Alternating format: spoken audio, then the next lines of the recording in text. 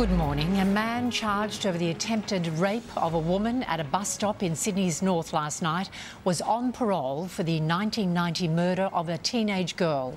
Officers chased the 46 year old for two blocks before using a taser and capsicum spray to arrest him. Hugh Whitfield has the details.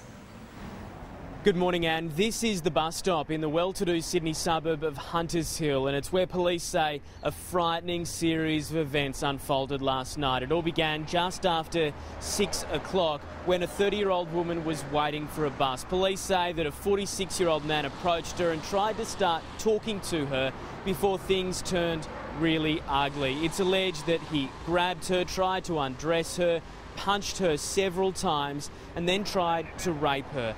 As she screamed for help, he then pulled out a pocket knife and stabbed her. Now, fortunately, someone driving past managed to see this and call police, and when they got here, the man was still here. It's when police say he then turned on them, assaulting a probationary constable. These incidents have shocked residents around here who admit that they aren't used to this kind of crime in their neighbourhood. So creepy, especially given like walking around the area all the time, like morning and night.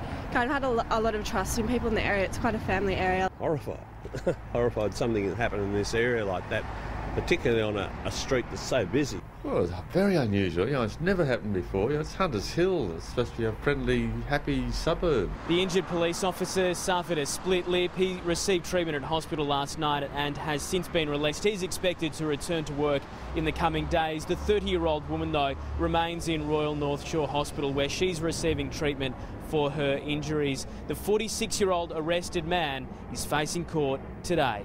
And thanks, Hugh.